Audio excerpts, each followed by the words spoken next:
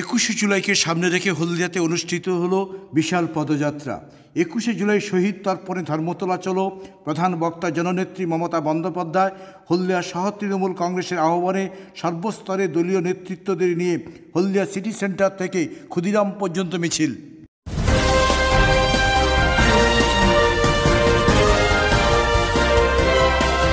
আজকে আপনাদের কর্মসূচি কি ছিল?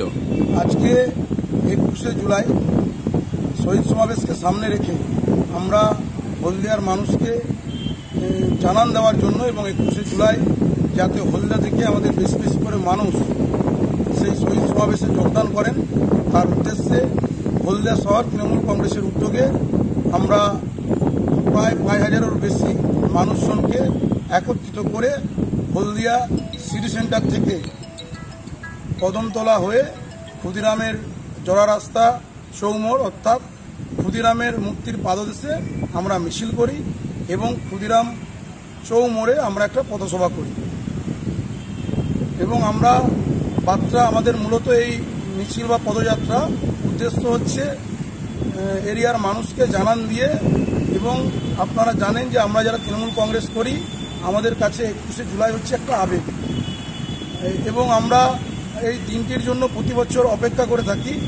যে এই দিনটি আসলে আমরা নিজেরা এবং আমাদের সহকর্মীদেরকে আমরা একযোগে ওই জায়গায় গিয়ে আমরা শহীদ তর্পণ করি শহীদদের শ্রদ্ধা জানাই এবং আমাদের যিনি মূল নেত্রী মমতা বন্দ্যোপাধ্যায় তিনি প্রতি বছর এই শহীদ দিবসে আগামীর কীভাবে পথ চলা বা আগামী দিনে আমাদের দল নতুনভাবে দিশা নিয়ে কীভাবে আমরা এগোবো তিনি তার বার্তা দেন এবং সেই বার্তা আমরা মনোযোগ সহকারে শুনি এবং শোনার পরে পরবর্তীকালে সেইভাবে আমরা এসে আমরা আমাদের এরিয়াতে সেই বার্তাটা মানুষের সামনে তুলে ধরি।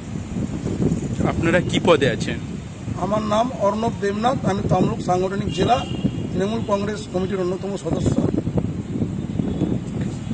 কেকার পেস্ট্রিতে জিবে জল সপারি? ওয়াও। আশাতে লাজবাব নিউ বিদ্যুৎ বেকারি। টিপটপ টিফিনে और happy party new Bidyut bakery Monday to Sunday ছোট বড় সবার পছন্দ একটাই। নিউ বিদ্যুৎ বেকারি প্রতিদিন চাই চাই। না না না না।